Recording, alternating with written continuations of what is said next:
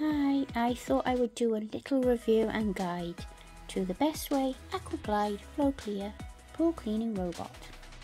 So he's been charging for the last few days. I haven't really had a chance to test him yet because we haven't had the weather.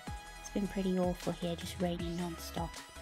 Um, but I'm going to give you a little guide to him before we test him out later on in the pool. Right, so starting from the top, this little rubber grommet is your charging port. And yes, I bought him from amazon.co.uk, so he comes with a British plug. Um, the next thing you need to look at on the top here is this. This is a, the flotation devices which you need to adjust to your pool's height. Uh, my pool is 1.22 meters, so 4 foot, and I've adjusted it roughly already. I'm going to readjust it when I get up to the pool.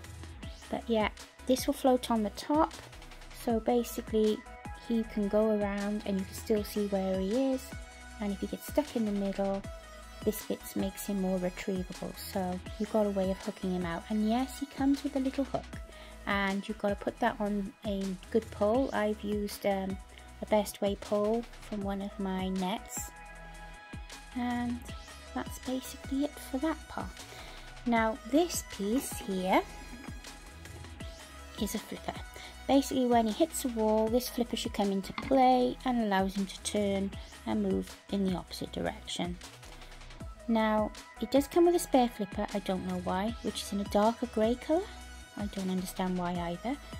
Um, but then this sometimes apparently can get stuck. Well, it can become stuck on a, another model which is like this, which is in a dark grey colour. So what a guy did was he stuck a bobber from a fisherman's bobber on the end of this with some sellotape and it just allowed this to move that way backwards and forwards. So I might invest in a bobber just in case I do run into this issue. I'm hoping I don't because I picked this model instead.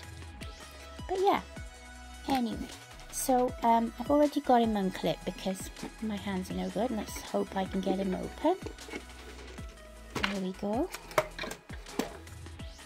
And here we have a Star Wars spaceship. No, only joking.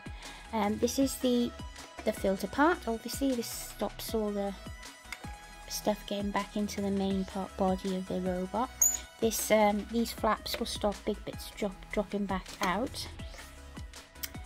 And hopefully, I won't get the problem that some people have when they say when they lift this out of the pool, sometimes bits come out from the back. Well, I'm hoping that I'm going to lift it straight up and that I don't get this issue, but we'll have to wait and see.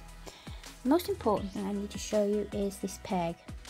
Now, at the moment it's what we call factory setting and that means it's in the right position for an above ground pool of under 2 meters, which mine is.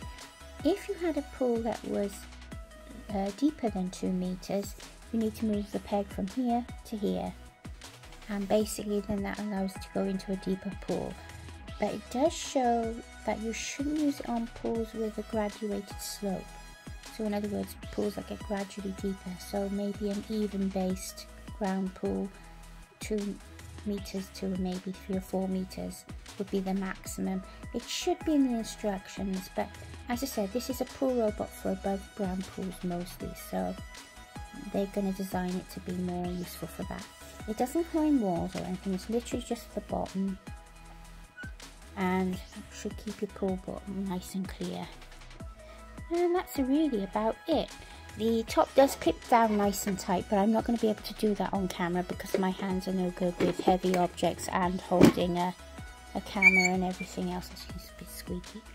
But yeah, there you go. It takes a four or five hour charge and that gives you about uh, 40 minutes worth of power pool cleaning. So I'm hoping that if I do go in this afternoon, I might drop it in the pool for 40 minutes and get to clean all the bottom and I'll clean the top and hopefully have a nice clean pool. Um, I've been mostly using, as I say, nets and a vacuum, but with my bad hands and sometimes my back, I can't always do that.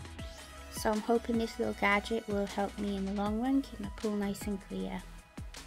So see for part two and I will put a link in the description on social media sites that I upload this to and hopefully if it's any good then it'll help somebody else.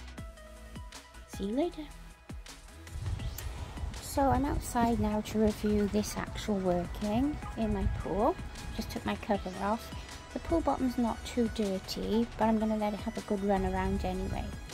Now there's an automatic feature here. You just put that on and as soon as it hits the pool, it'll turn on. So I'm going to just pop it in the pool now. So I've just dumped them in. I've took my ladders out and he is going. I might need to just adjust the uh, floater there. But you can see he sort of gets to an edge and he turns himself around. isn't he cute.